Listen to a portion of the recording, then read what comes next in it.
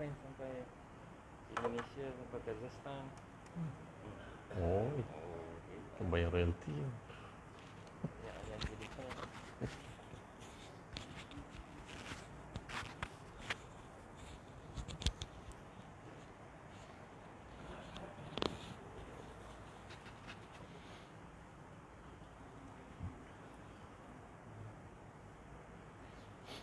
Astaghfirullahaladzim.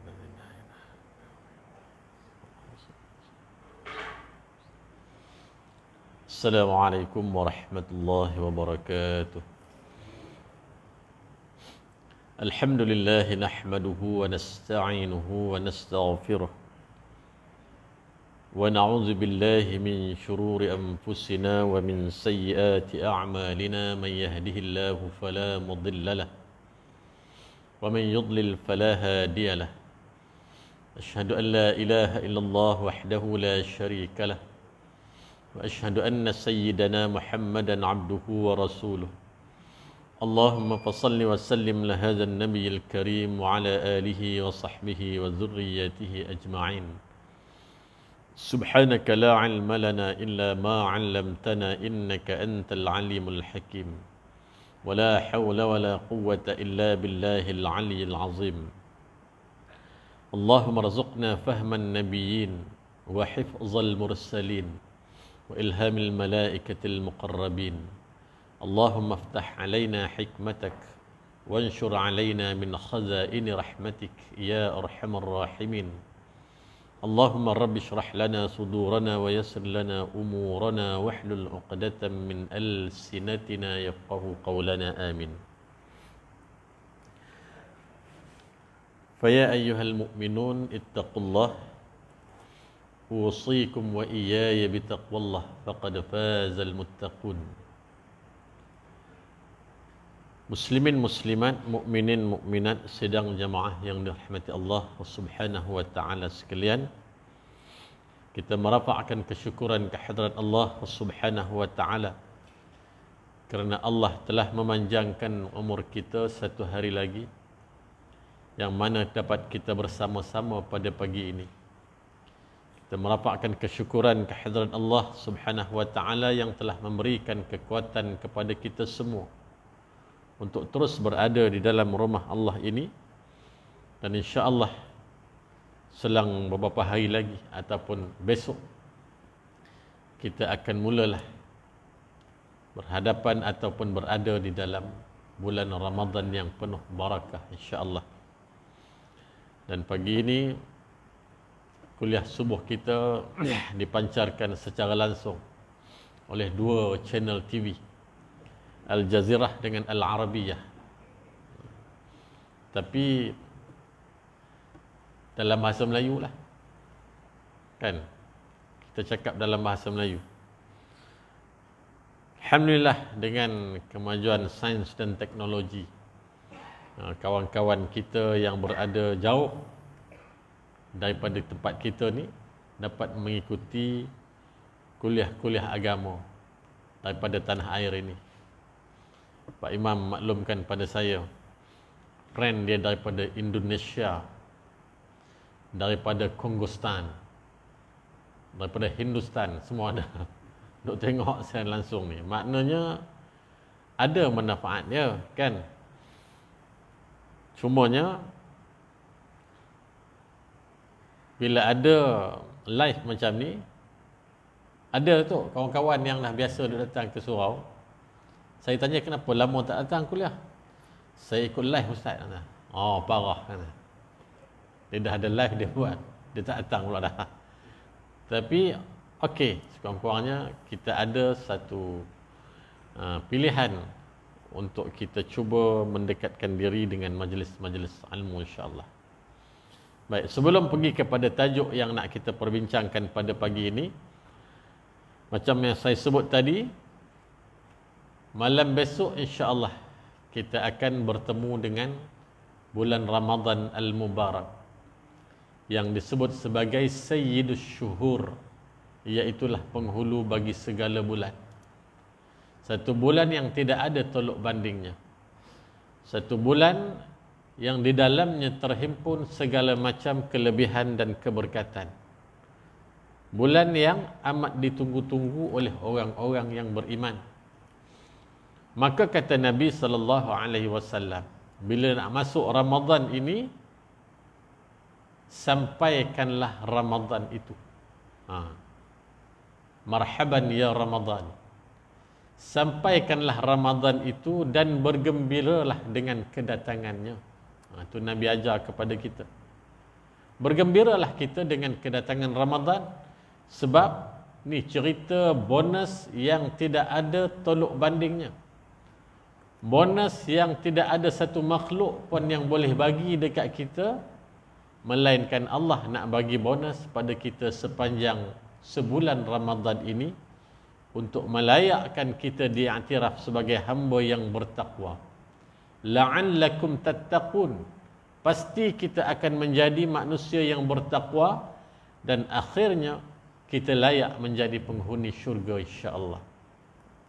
Maka kata Nabi sampaikanlah berita tentang Ramadan dan bergembiralah dengan kedatangannya. Satu. Yang kedua, bersyukurlah dengan Ramadan. Bersyukurlah berapa ramai yang sudah pergi meninggalkan alam ini.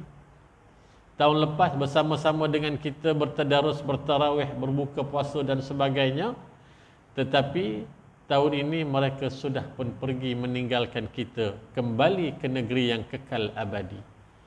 Kita yang masih diberikan kesempatan oleh Allah untuk terus berada di atas muka bumi ini menumpang untuk tempoh waktu yang kita pun tak tahu berapa lama lagi bersyukurlah kita kerana bulan Ramadan itu bulan yang penuh barakah yang terbuka segala pintu syurga tertutup segala pintu neraka bulan untuk kita bertaubat kepada Allah Subhanahu wa taala dengan sebenar-benar taubat maka bersyukurlah kita kepada Allah seandainya kita dapat masuk pada bulan Ramadan pada tahun ini kemudian apa lagi pesan Nabi belajarlah tentang hukum hakam puasa dan fadilat-fadilat Ramadan. Ha, belajarlah. Bukan makna kata kita dah setiap tahun sambut Ramadan semua benda kita tahu. Betul, semua benda kita tahu. Tapi kadang-kadang kita ini mudah lupa. Ha, benda yang sepatutnya kita buat, kita tak buat. Menjelang ataupun sepanjang kita berada di dalam bulan Ramadan ini. Kemudian apa lagi? jangan kita bawa persingkataan ke dalam bulan Ramadan. Ha, ini yang penting. Kita memutuskan silaturrahmi atau silaturrahim kemudian persingkataan itu kita bawa masuk ke dalam bulan Ramadan seluruh amalan kita ditolak oleh Allah Taala. Segala taubat yang kita pohon kepada Allah satu pun Allah tak terima. Alangkah malangnya kita. Jadi kalau kita rasa-rasa kita ada duk bersengketa dengan sesiapa, sesama saudara seagama kita ni, minta maaf lah dengan dia. Masa masih ada hari ni, besok minta maaf dengan dia elok-elok.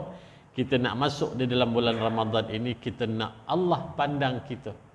Sebab dah banyak kali kita duk sebutkan, bulan Ramadan ini Allah berurusan terus dengan hambanya. Allah ambil terus apa yang kita buat direct Allah ambil beruntunglah kita kalau kita memahami keadaan dan suasana Ramadan itu dalam arti kata yang sebenarnya kita meneruskan pembacaan kitab Huru Hara Hari Kiamat Imam Ibnu Kathir kita meneruskan dengan tajuk yang baru pada pagi ini Iaitu tajuknya Kaabah dihancurkan. Ha.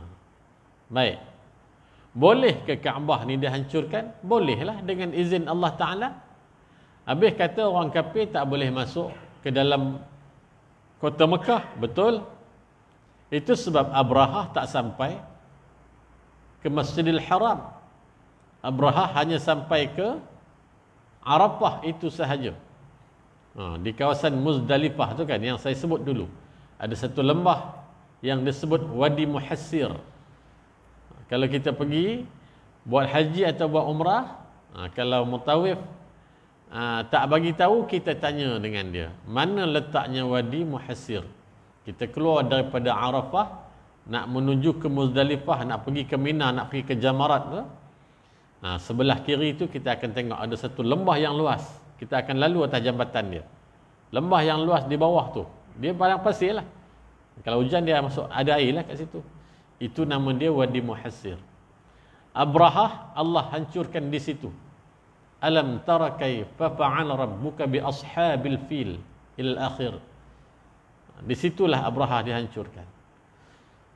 Logiknya Abraha ni datang dengan tentera bergajah sampai Datuk Nabi Abdul Muttalib bila melihat kedatangan tentera Abraha yang begitu kuat dan menggerunkan ini hilang daya upaya Abdul Muttalib lalu dia kata apa wahai penduduk Mekah jangan kamu semua risau Kaabah ini ada tuannya ha, kata Abdul Muttalib Kaabah ini ada tuannya jadi sekarang aku serahkanlah kepada tuannya untuk menguruskan hak miliknya ini. Akhirnya Abraha dihancurkan. Membawa maksud Kaabah tidak boleh disentuh oleh orang-orang yang berniat jahat. Tapi tajuk yang kita nak baca ini sampai suatu masa kelak Kaabah akan dihancurkan. Membawa maksud apa? membawa maksud bahawa ketika itu tiupan sangkakala yang pertama akan dibunyikan. Ha, cerita mudah nak faham begitu. Maknanya memang dah nak kiamat lah tu. Bila Kaabah sudah dihancurkan. Baik, kita tengok apa dia sebut. Bismillahirrahmanirrahim. Pada suatu saat nanti Kaabah akan dirobohkan oleh seorang manusia terkutuk bernama Zussuwaiqatain. Zuz Suwaiqatain ini ada yang menyebut dia adalah suku bangsa ataupun satu kaum yang datang daripada Habasyah ataupun Ethiopia. Tetapi banyak kitab yang menyebut termasuk Imam Ibn Qasir dia kata seorang manusia bernama Zuz Suwaiqatain. Ha, nama seorang hamba Allah. Demikianlah sebagaimana kami riwayatkan dari Ka'am Al-Ahbar. Dalam tafsir kami ketika membahas tentang firman Allah Subhanahu wa taala. Yang mafhumnya sehingga apabila telah dibukakan yakni pintu Ya'juj wa Ma'juj. Ha, yang kita baca dalam surah Al-Kahfi dalam cerita tajuk yang lepas. Kemudian bahawa munculnya Zuswai Qatain bermula pada masa turunnya Nabi Isa alaihi salam iaitu setelah dibinasakannya Ya'juj dan Ma'juj. Ha. Cerita Nabi Isa tak boleh bunuh Ya'juj Ma'juj. Kita dah baca dah. Sebab tugas Nabi Isa hanya membunuh Dajjal. Tetapi sesudah Allah musnahkan, Allah hancurkan Ya'juj Ma'juj, Nabi Isa masih ada. Dan pada ketika ini, muncullah ataupun datanglah manusia yang bernama Zuswaiqatain. Bersama dengan bala tenteranya. Ketika itu Nabi Isa alaihi salam mengirim pasukannya untuk memerangi bala tentera Zuswaiqatain. Mereka berkekuatan antara 700 ke 800 orang. Ha, nampak. Maknanya Nabi Isa akan tempuh cerita Imam Mahdi. Bagaimana Imam Mahdi minta Nabi Isa jadi imam. Dan Isa kata apa? Salat ini untuk kamu, bukan untuk aku. Maknanya kamulah yang lebih layak salat yang diturunkan untuk kita ini untuk umat Muhammad sallallahu alaihi wasallam. Nabi Isa kata walaupun aku seorang rasul, aku turun sebagai umat Muhammad. Nak bawa ajaran yang diwahyukan kepada Muhammad, bukan aku bawa Injil. Satu. Kemudian yang kedua, Nabi Isa akan berdepan dengan Dajjal. Itu tugas utama Nabi Isa. Sehinggalah Nabi Isa membunuh Dajjal. Mati Dajjal, musnahnya Dajjal. Muncul Ya'juj dan Ma'juj. Nabi Isa juga berperang dengan Ya'juj dan Ma'juj. Tetapi tidak menang. Apa maksud tidak menang? Bukan tugas Nabi Isa. Nabi Isa tugas bunuh Dajjal sahaja. Habis dah hancur dah semua ni Ya'juj Ma'juj muncullah seorang lagi atau sekelompok manusia yang diketuai oleh Zussawiqatain sebab dia nak menghancurkan Kaabah.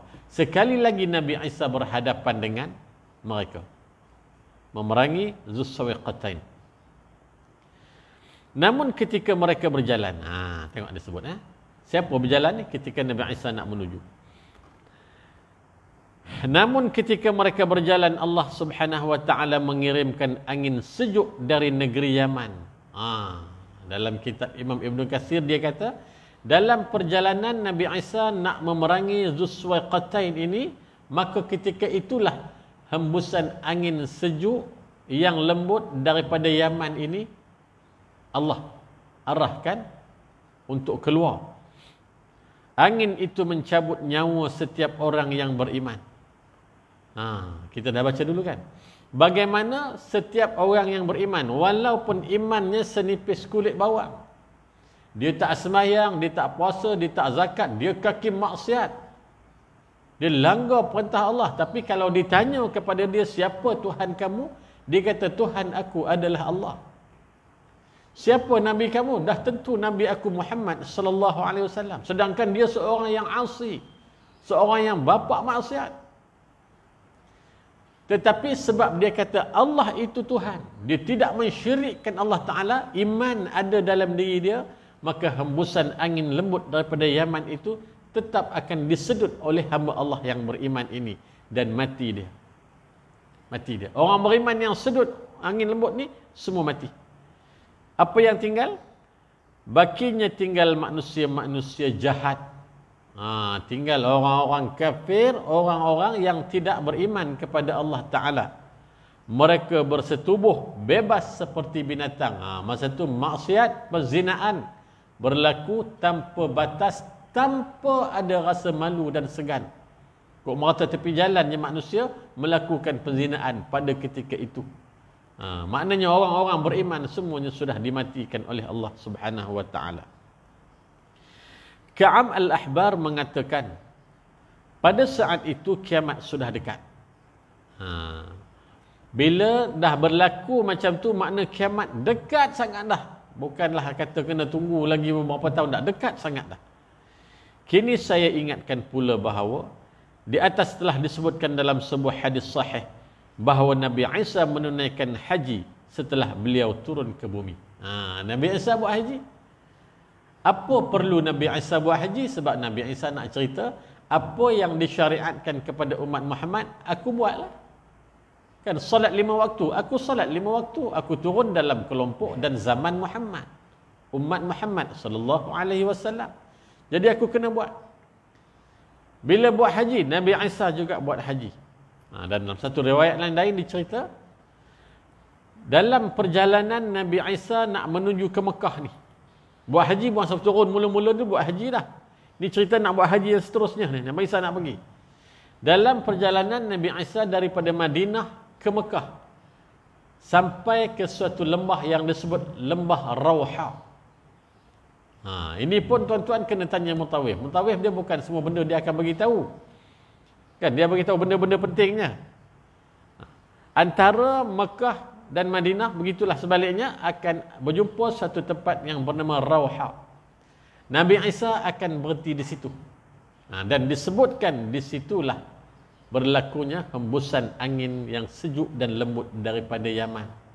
Mana Nabi Isa tak sempat sampai ke Mekah pada kali itu.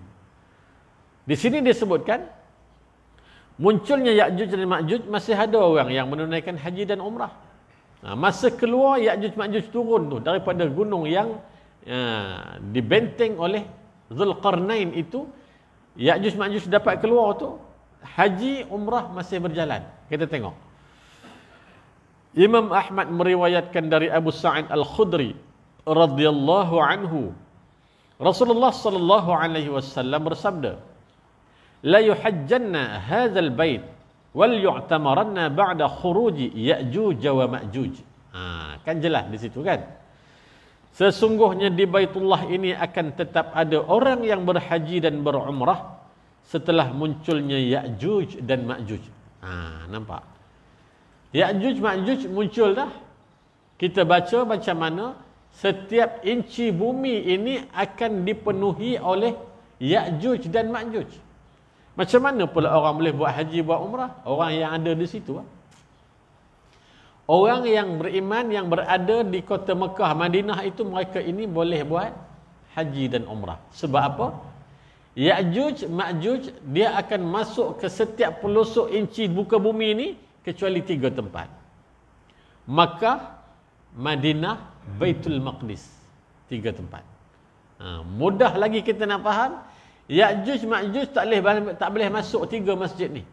Masjidil Haram, Masjidil Nabawi dan Masjidil Aqsa. Tiga masjid ni Ya'juj Ma'juj tak boleh masuk. Dia tak akan sampai, Allah tak akan izinkan. Jadi begitu keadaannya, Nabi kata, walaupun Ya'juj Ma'juj dah keluar, yang buat haji tetap buat haji, yang buat umrah tetap buat umrah. Ha. Ini cerita Nabi Isa perjalanan nak pergi buat haji itu, maka datanglah hembusan angin lembut daripada Yaman. Kemudian seterusnya. Menjelang kiamat tidak ada lagi orang yang menunaikan haji. Ha. Habis cerita haji masa Ya'juj Ma'juj tu ni nak cerita tentang munculnya Zawiqatain ni.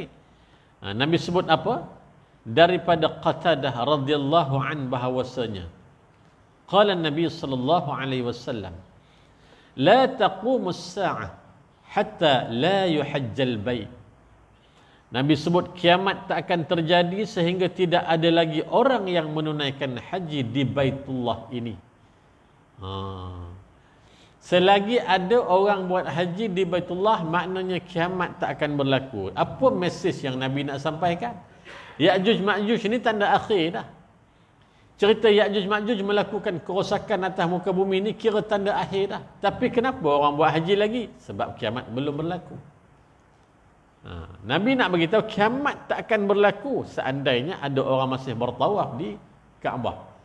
Tetapi sampai suatu saat dah tak ada lagi orang yang bertawaf di Kaabah, ha, itu maknanya dah nak kiamat lah. Ha, dah nak kiamat dah. Hari ini Alhamdulillah. Dalam keadaan pandemik ni kita masih lagi boleh mengerjakan haji. Walaupun bukan daripada kalangan ajam. Ada daripada kalangan ajam tetapi tak ramailah. Tak dibenarkan di kalangan uh, lokal sahaja orang-orang tempatan dan baru-baru ini uh, Jabatan Haji Arab Saudi mengumumkan dibenarkan 150 ribu orang tahun ni 150 ribu orang dia test bulan Ramadan ni ketika solat maghrib sampai solat witir ataupun tarawih. Dia benarkan 150 ribu orang mengikut SOP tetapi kena mendaftar dengan uh, tawakkalna bukan i'tamarna. Sebelum ni kena daftar dengan i'tamarna. Tapi kali ini kena mendaftar dengan tawakkalna. Dia punya adalah aplikasi dia tu kan.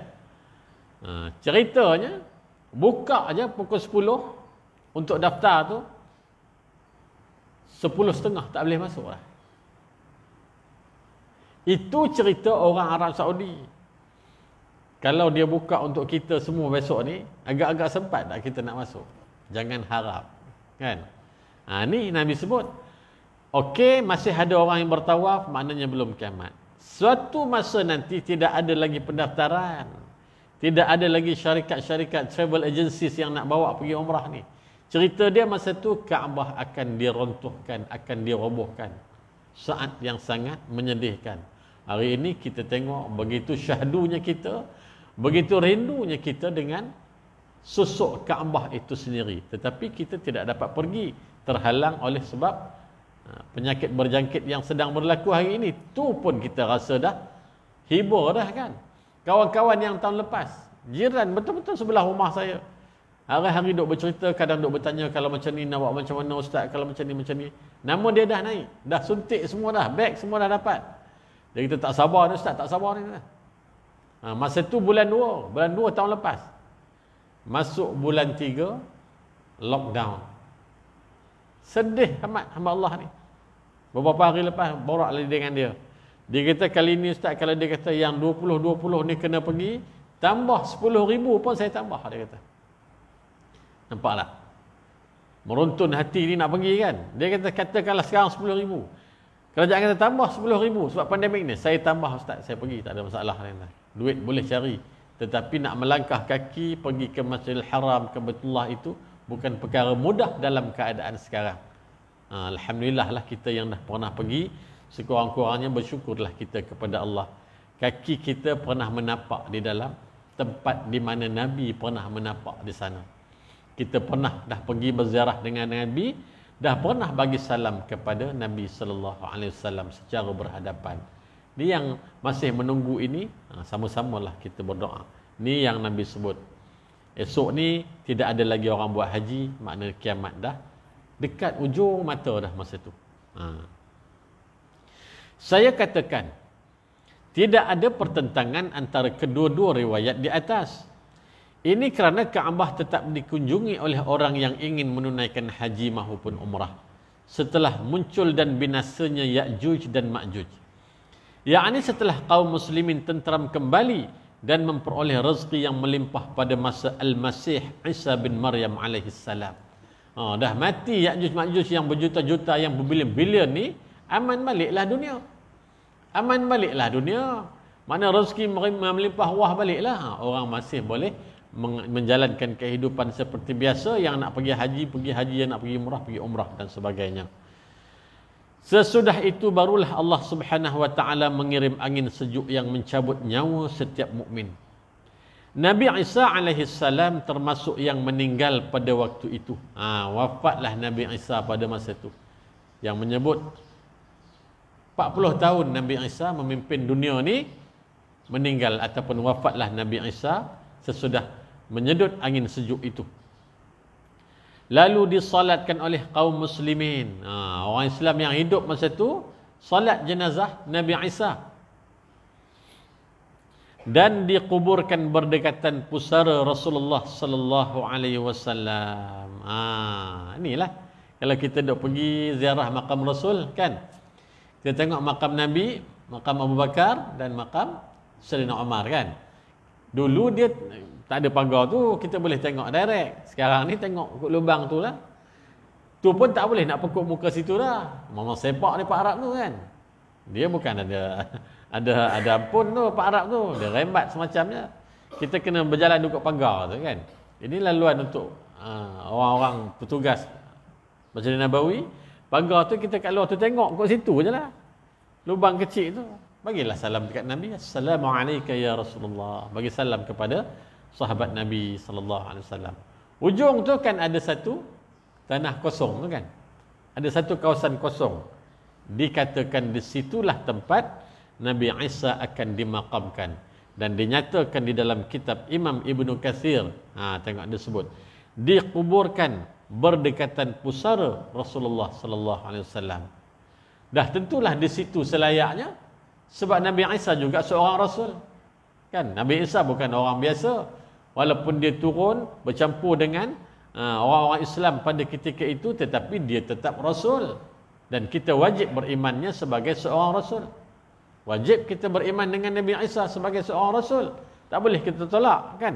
Ha, baik. Kemudian baru dia cerita.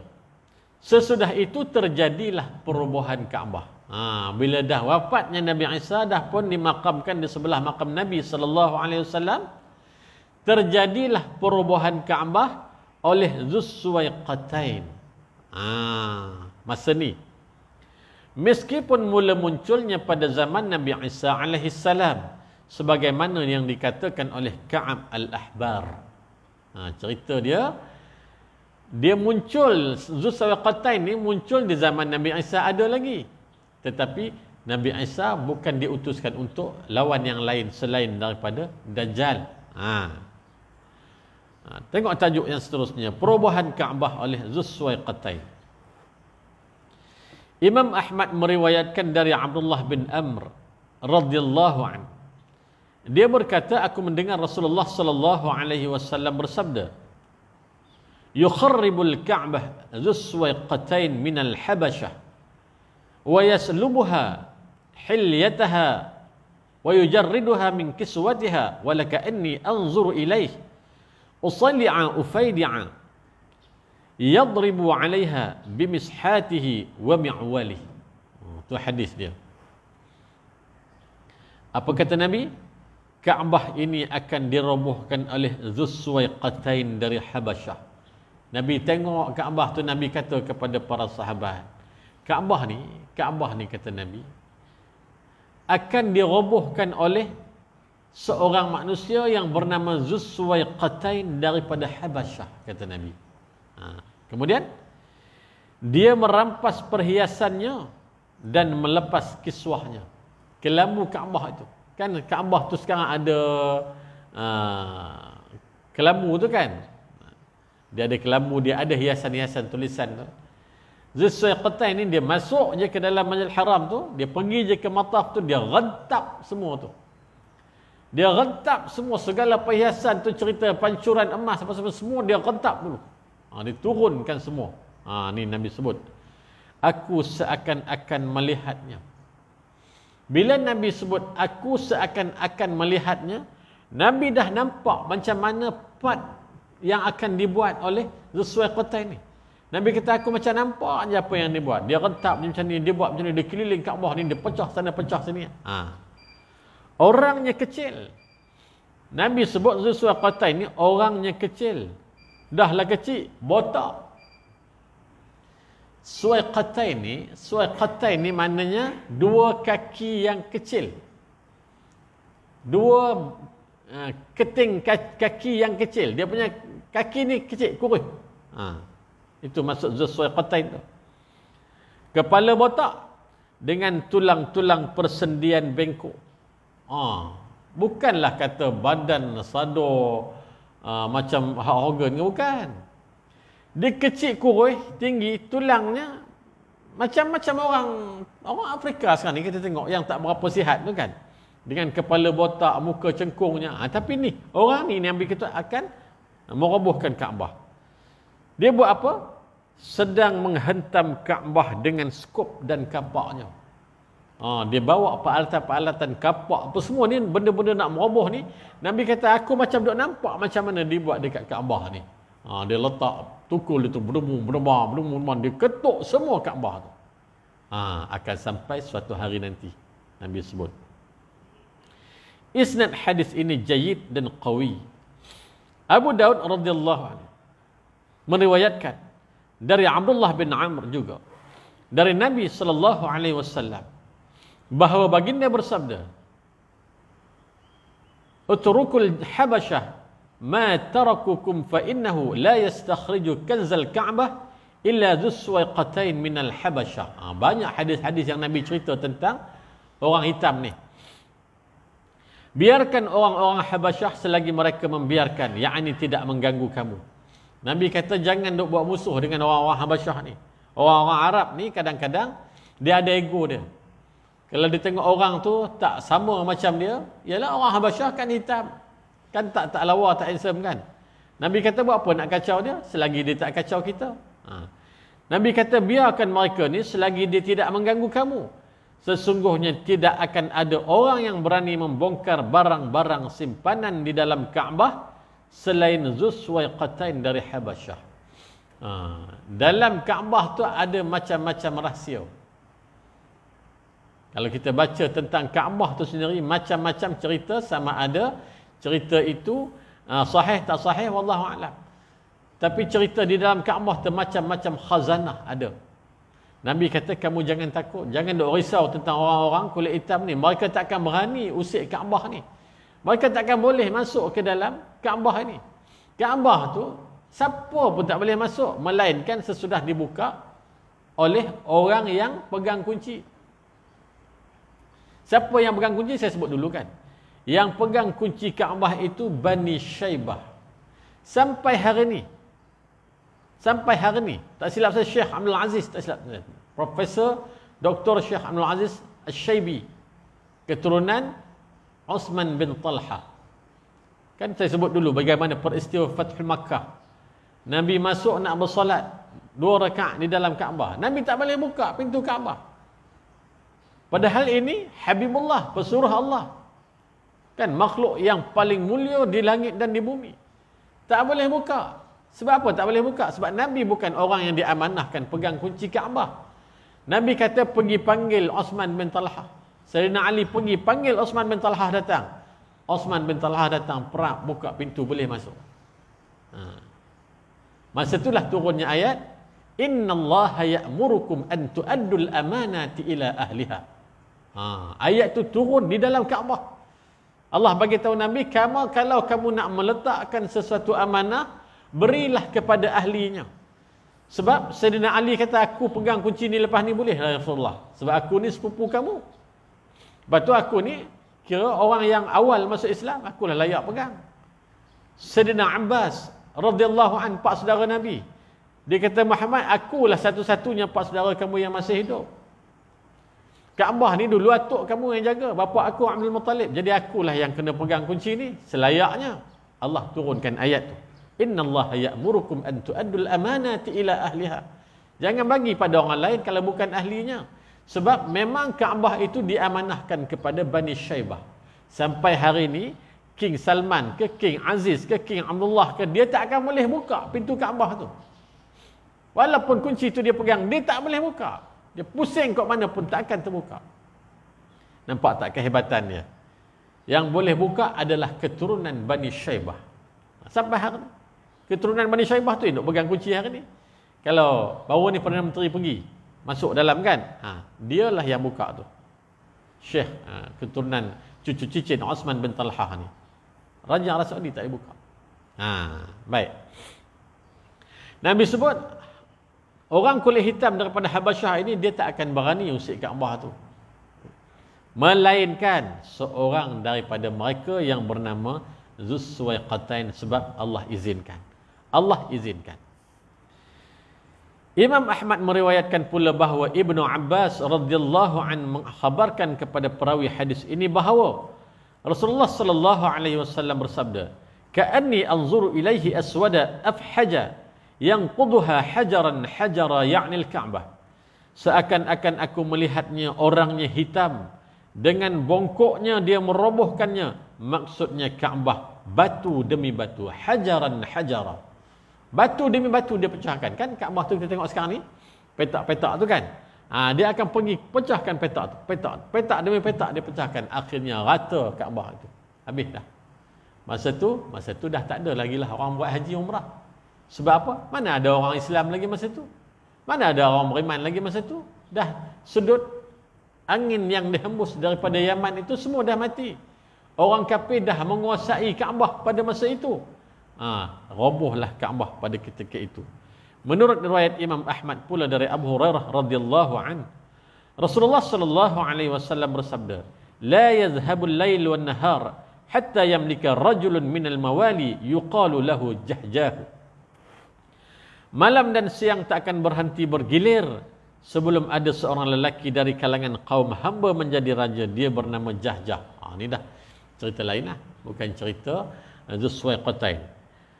Jahjah ni ada yang mensyarahkan bahawa dia adalah uh, Al-Qahtan, Al-Qahtani. Seorang uh, pemimpin ataupun raja yang membawa tongkat. Yang akan Ha, membawa orang Islam ini ke jalan yang benar. Tetapi Imam Nawawi menyangkal kata Imam Nawawi uh, Al-Qahtan Al-Qahtani itu dia adalah daripada kalangan bangsawan sedangkan Jahjah adalah daripada kalangan hamba orang yang berbeza tetapi kedua-duanya adalah pemimpin yang adil uh, dalam cerita ni nak cerita macam mana kita kena yakin dan percaya bahawa Kaabah itu suatu hari akan dihancurkan dengan izin Allah Ta'ala. Bukan hari ini. Hari ini Allah tak akan izinkan. Orang kafir masuk ke tanah haram pun tak boleh. Apa lagi nak masuk ke dalam Masjidil Haram. Apa lagi nak pegang Kaabah, nak sentuh Kaabah. Tak boleh. Hari ini. Mekah, Madinah tu dia tak boleh masuk.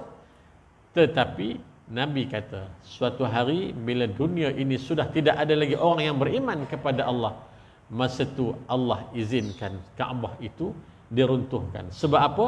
Tiupan sangkakala dah nak berbunyi pada ketika itu. Bila dah tak ada orang beriman, tidak ada ada lagi umrah dan haji dan sebagainya, maka kiamat akan berlaku pada ketika itu. Dan kiamat berlaku pada ketika yang tinggal pada ketika itu adalah orang-orang yang kafir dan fajir sahaja. Itu sebab kita kena banyak berdoa kepada Allah Ta'ala. Matikanlah aku di dalam iman. Allahumma ahyina bil iman wa amitna bil iman wahsyurna bil iman wa adkhilna al jannata ma'al iman. Oh, minta kepada Allah, aku ni ya Allah hidupkanlah aku ni sebagai seorang yang beriman. Matikanlah aku sebagai seorang yang beriman. Mati di dalam iman ni penting. Bangkitkanlah aku dalam keadaan bersama orang yang beriman. Kumpulkanlah aku di hujung esok ya Allah dengan orang-orang yang beriman. Oh, minta dengan Allah Taala. Imanlah yang akan dapat menyelamatkan kita daripada segala fitnah-fitnah terutamanya fitnah dajjal. Ha, habis satu bab-bab tu, ha, kemudian dia akan cerita lagi. Bagaimana keadaan suasana kota Mekah dan Madinah ini apabila menjelang kiamat? Ha, dah nak kiamat ni dah nak tiup dah sangka kala ni bagaimana keadaan Mekah Madinah tu? Adakah ada keadaannya macam sekarang yang masih berada di dalam keadaan tenang, aman dan damai. InsyaAllah kita akan sambung pada uh, hari yang berikut hari seterusnya lah, minggu yang seterusnya insyaAllah. Jadi, uh, di kesempatan ini saya mengucapkan selamat menyambut bulan Ramadan Al-Mubarak. Duduklah di dalam Universiti Ramadan ini dengan sebenar-benarnya. Duduklah, ambillah kuliah yang ada di dalam Universiti Ramadan ini keluar kita daripada Ramadan. Besok ni masuk je malam satu Syawal kita akan menjadi minal aid wal faizin. Esoknya kita akan menyambut Aid al-Fitrah yang disebut sebagai Aidul Fitri. Apa dia? Hari kita kembali kepada fitrah. Hari semula jadi kita kosong macam bayi yang baru dilahirkan. Ha, itu disebut Aidul Fitri.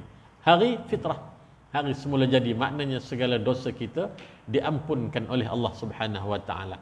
Tetapi dengan syarat kita hayatilah Ramadan itu dengan sebenar-benarnya. Imanan wa ihtisaban.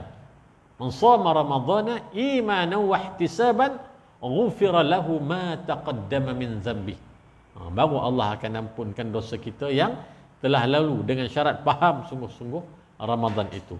Selamat menyambut bulan Ramadan selamat bertarawih, selamat beribadah dan dekatkanlah diri dengan sesungguh-sungguhnya kepada Allah, banyakkanlah bertaubat. Mudah-mudahan kita sama-sama bertemu dengan Allah di dalam keadaan yang diredai dan dikenali oleh Allah Subhanahu wa taala.